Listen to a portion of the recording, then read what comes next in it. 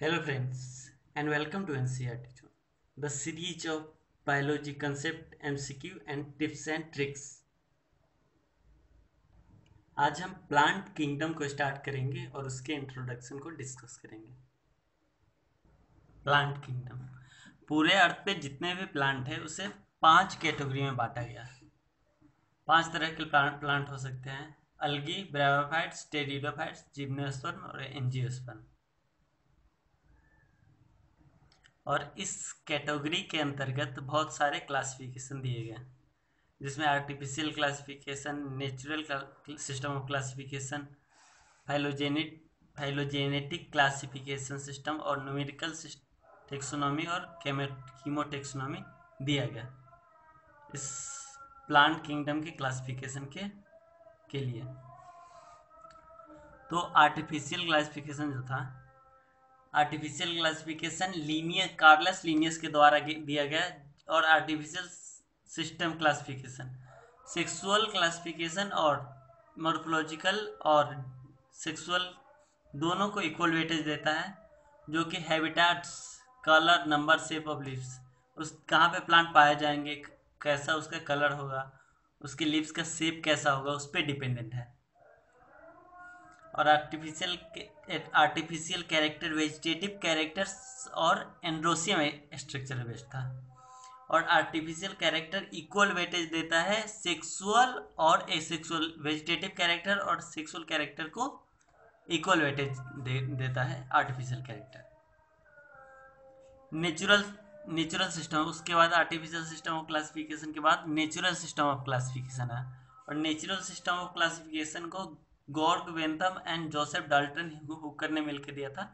Natural system of classification किन ने दिया था? George Bentham and Joseph Dalton Hooker ने मिलकर और natural system of classification, natural affinity जैसे external feature, internal feature, external feature, internal feature जैसे अल्ट्रा स्ट्रक्चर एनाटॉमी इम्ब्रियोलॉजी और फाइटोकेमिस्ट्री पे बेस्ड थे। नेचुरल सिस्टम क्लासिफिकेशन किस चीज़ में बैठता है? एक्सटर्नल फीचर जैसे बाहर से कैसा दिखता है इंटरनल फीचर उसके अं, अंदर ही अंदर का स्ट्रक्चर उसका कैसा है? अल्ट्रा स्ट्रक्चर एनाटॉमी उसका कैसा है? इम्ब्रियोलॉजी उसका इम्ब्रियो फॉर्म में कैसा है प्लांट है? और फाइटोकेमिस्ट्री पे बेस्ड था और phylogenetic classification